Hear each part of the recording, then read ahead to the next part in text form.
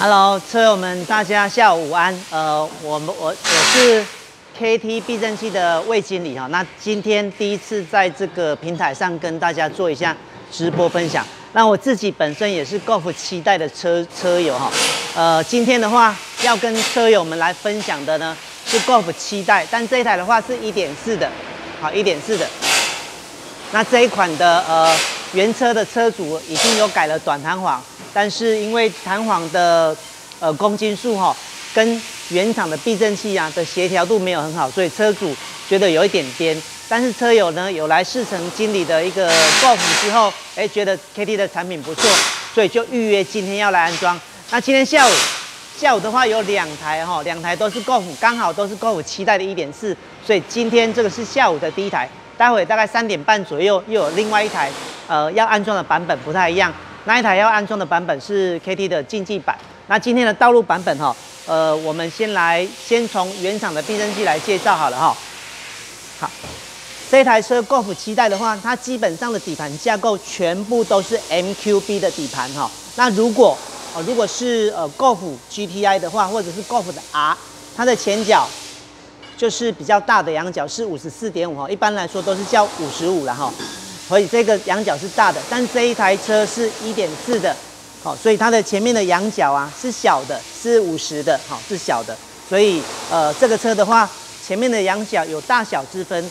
后方的悬吊系统也有分多连杆跟扭力两式的哈，不太一样。那如果是一点零，一点零的话算是七点五代，那如果是呃七代的话是一点二哈，一点二跟一点零的话，后方。就都是扭力梁的悬吊系统，所以两个呢后方的避震器是不能共用的哈。啊，这个也是好东西哦哈，这个是 H N R 的德国制的一个短弹簧，所以它降下来的车高会比原厂的呃 R line 哈更低哦哈。可是它的公斤数可应该啦，经理觉得应该有比较高，所以它跟后方的阻尼啊哈，呃，觉得整整个乘坐起来的感觉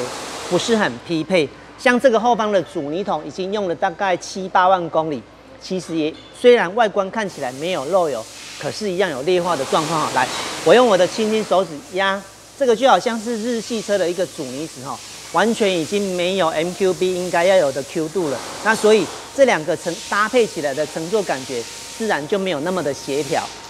好，这个后方的阻尼已经变得很软了哈。那呃后方的话，它原厂的后避震器哈，其实还有一个后上座。从 Golf 的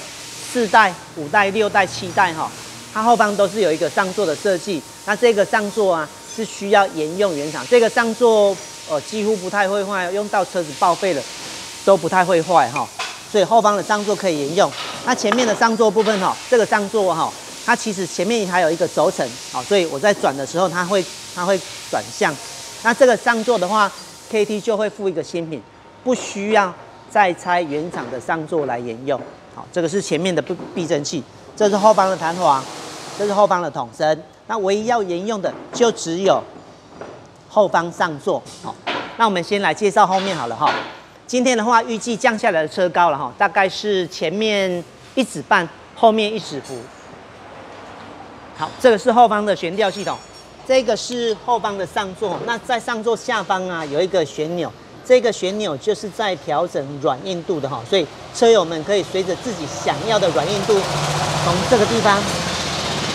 来做调整。那调整的方式啊，由上往下看，顺时针的话就是变硬，逆时针的话是变软哈，所以可以从这个地方来做调整。那调整的秘诀呀，有两个步骤。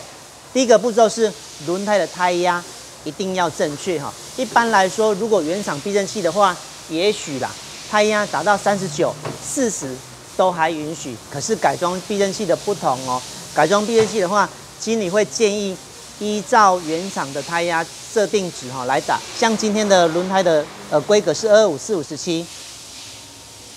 好，二五四五十七的话就大概三十三、三十四 psi 左右，它整体匹配起来才会比较调整起来才比较不会那么的不协调哈。所以胎压设定好之后，再来调整阻尼。那如果呃是比较硬朗的胎壁哈，像是普利司通的系列，它的胎壁比较硬的话，可能就会落在十三到十五段左右。那如果是像今天的是米其林的 PS4 吧哈，或者是马牌的轮胎，它的胎壁比较软，就会落在十五段到二十二段这个区间。好，所以后方的话，主宁车主的话可以自己来调整。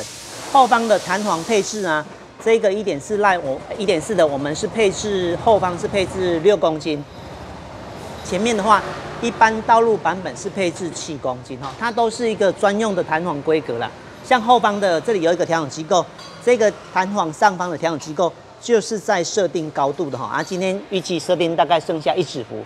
，V H 的车哈超好闪的，因为这个呃这这一片的叶子板啊，它做的比较薄哈，所以能够能够降得很低。而且这一台车即便是降得很低，也不太需要像是之前我们开直播介绍的喜美八代、喜美九代，好，或者是呃马自达三这些车系。如果降低之后，都还要再多花钱，呃，换装这个后方的仰角调整器哈。但是这一款车的话，它后方的有一颗螺丝哈，就可以调整它后轮的 camber 角度。后轮的 camber 跟头印呢都是可以分开调整，所以它降到一指幅也不需要再改装后方的仰角调整器，除非有特殊的需求，要走海拉风哈，角度要做到三度四度之类的，才需要改装。后方的仰角调整器，那如果一般车高降下来的话，是不需要的哈。它可以有很棒的一个角度可以对应得到。那弹簧上方这个是在调整呃车高的哈，这个调整机构注意哦哈，是放在上方。虽然呐，它的这个调整机构，Golf 的车系哈，六代五代放上方也可以，那放下方也可以。可是放在上方的时候，呃，日后如果要调整，会比较方便一点点哈。这个这个车系是要装上方的。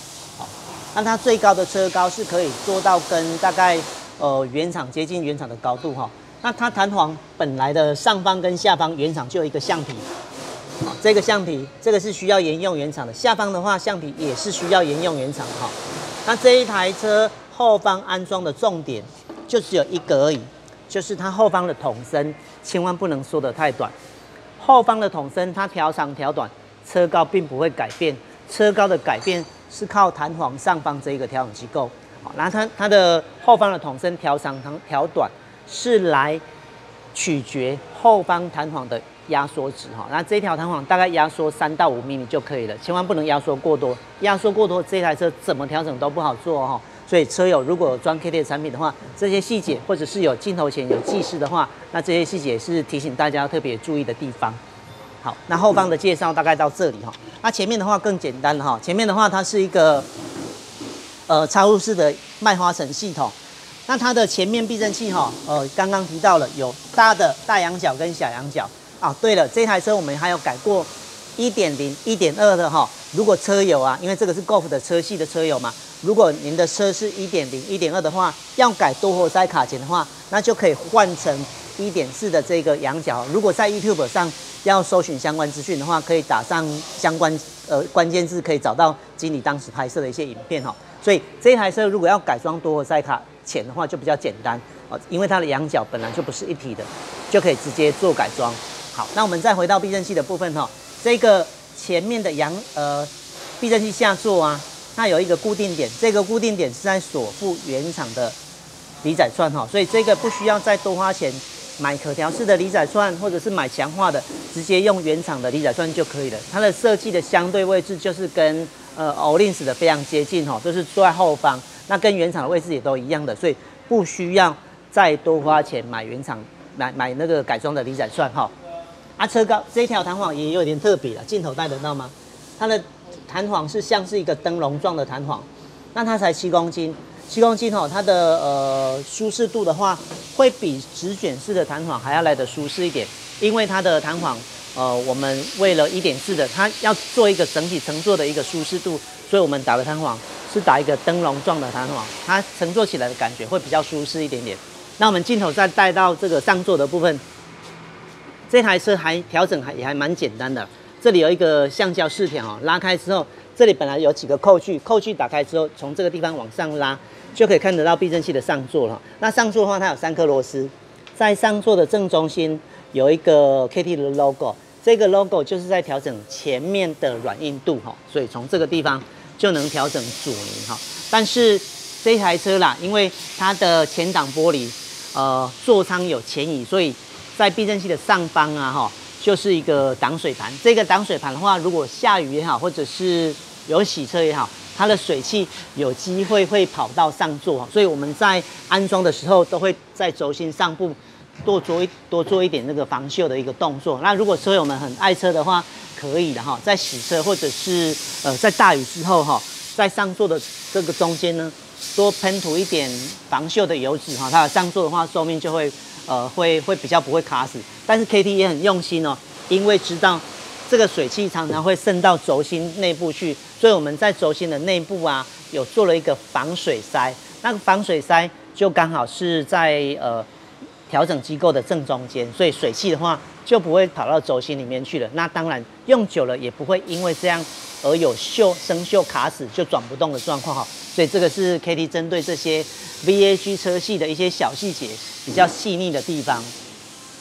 那因为我们没有在这个平台上做过直播哈，所以如果啊车友们呃有需要试乘啊，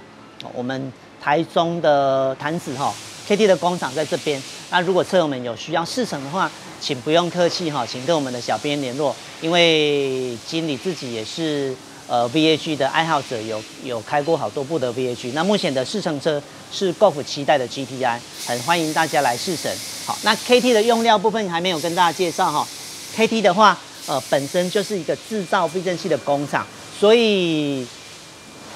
在日后的话哈，呃，也许有可能避震器要维修也好，或者是里面的阻尼有裂化。然后呃，防尘套馒头有坏掉的话，这些都是可以针对单一的零件来做汰换的哈。即便像是 KT 的，像是阻尼油好了哈，阻尼油的话，我们使用的是意大利，它一整一一个大油桶，一整桶大概两百公升吧。这个是从意大利原装进口的油品。那像是里面的最主要攸关到避震器寿命的油封，使用的是日本。最大的品牌 NOK 油封哈，所以它的整个用料的话都相当的不错，而且像是上座的话，KT 也都有付啊哈，所以最棒的方式应该是说欢迎车友们来试乘看看，那觉得试乘之后有满意再来考虑就好了。好，那今天的在车友团里面介绍的一个直播就到这里，谢谢大家，拜拜。